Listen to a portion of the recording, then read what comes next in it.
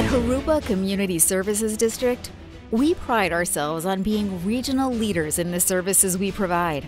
Every day, JCSD provides essential services for our community, and our commitment to innovation and community safety is stronger than ever through JCSD's Helihydrant Project, designed to bolster our community's fire response and public safety. The Helihydrant is a game changer in our emergency response strategy and is the first of its kind in the Inland Empire region. Each helihydrant is a 15 foot wide, nearly 10,000 gallon tank designed to expedite the water collection process for firefighting helicopters. Each helihydrant is a little different. This particular one takes about seven minutes and it'll fill to the top. Situated strategically in fire prone areas, these helihydrants are constructed to integrate seamlessly with JCSD's existing water systems.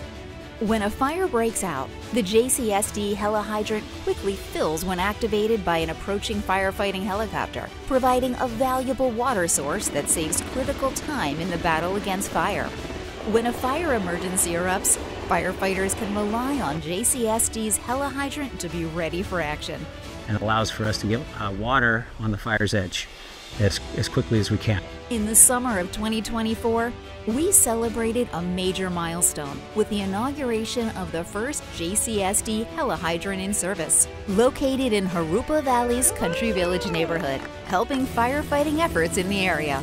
Uh, we initiated a discussion with CAL FIRE and said, hey, can we look at doing a project like this over in JCSD area?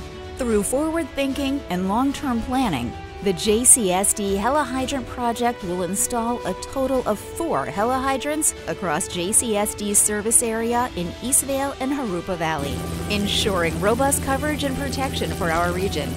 With the helihydrants, JCSD is not just helping fight fires, we're building resilience and safeguarding our community's future for generations to come.